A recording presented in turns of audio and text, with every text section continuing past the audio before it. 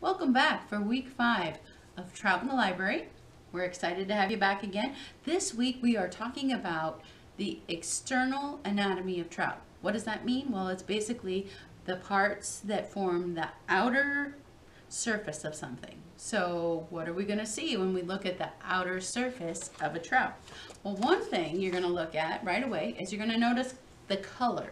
Now, our trout are actually rainbow trout, so the rainbow, that word gives you a clue.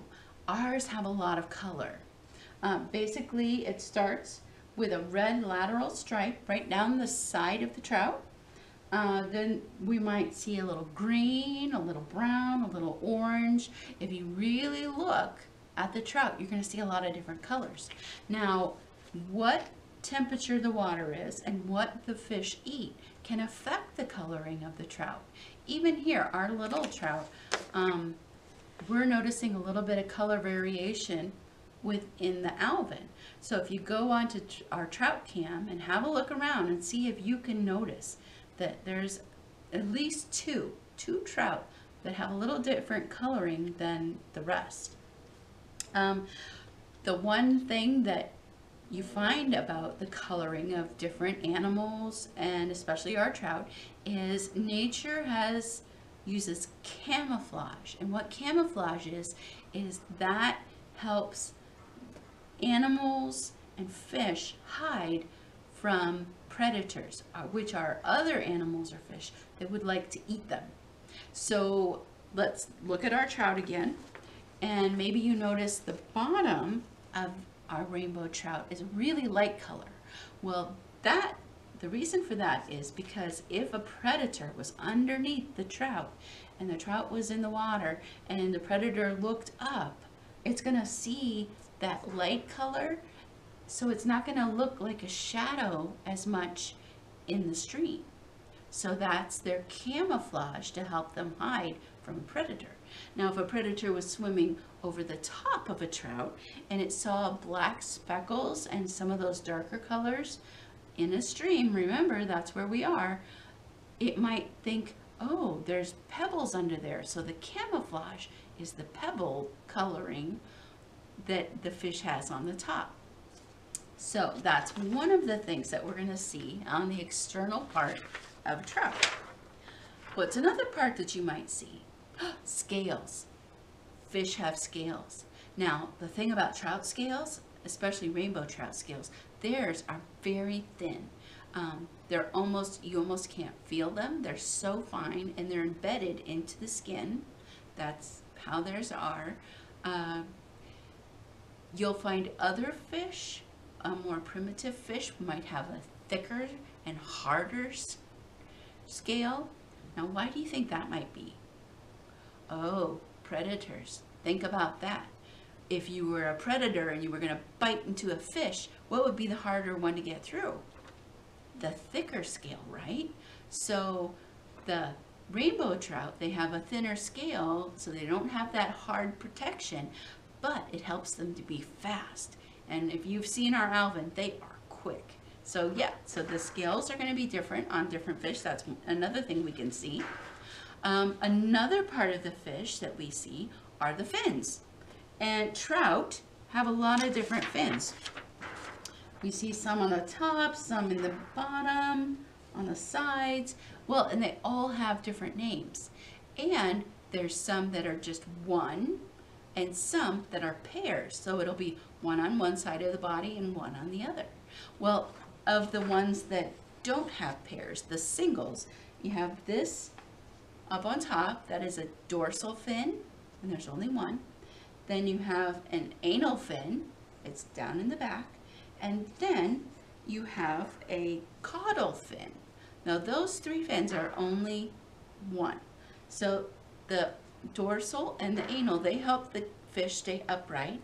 And the caudal is like the rudder. It gets that fish moving down the road. Well, then we have pairs that there's two.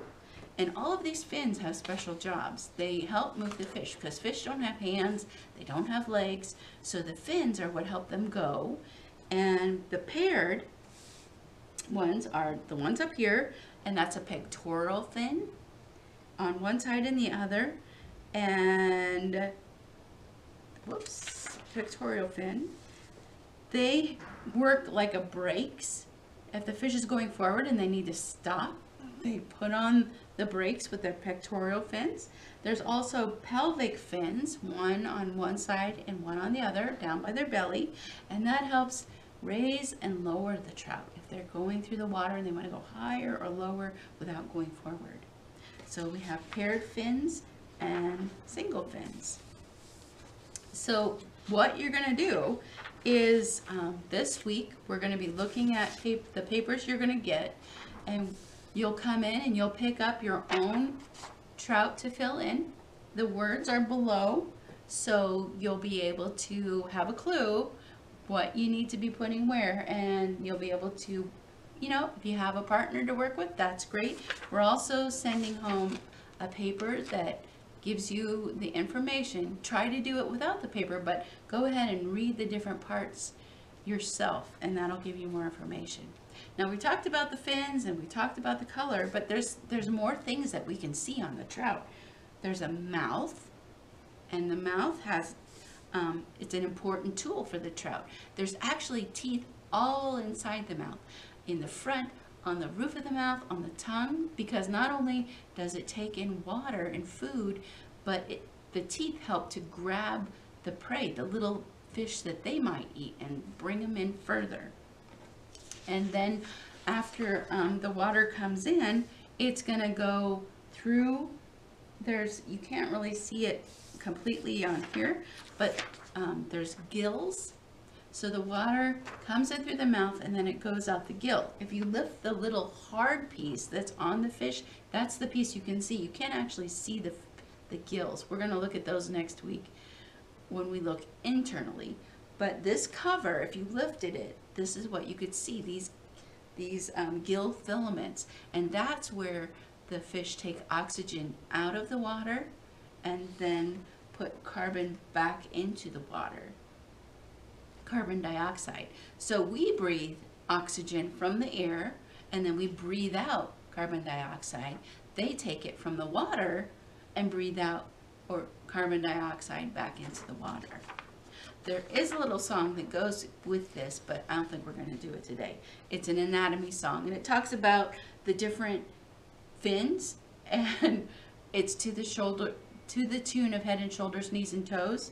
And it goes dorsal, pectoral, pelvic, caudal, pelvic, caudal, dorsal, pectoral, pelvic, caudal, pelvic, caudal. And then there's a lateral line, upper limb and gills. And then dorsal, pectoral, pelvic, caudal, pelvic, caudal. And don't forget the anal fin. So, okay, I, I kind of did sing part of it. So not only do we have that, but we're, there's the sensory organs are also available. And like we talked about, the eyes you can see, they could see with.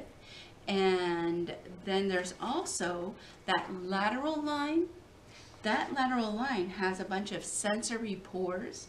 So they can detect water movement. They can um, sense objects in their path. They can even sense chemicals in the water then there's that eye, and there's no eyelid on their eye. And if you look in front of the eye, there's a little tiny nose. Our noses stick out. Their nose is actually a hole that goes in, and it's called a nare. And that's what they use to smell the way to go home and lay their eggs.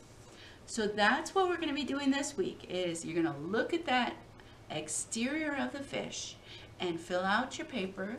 So that's another thing you have learned. You guys are gaining so much information.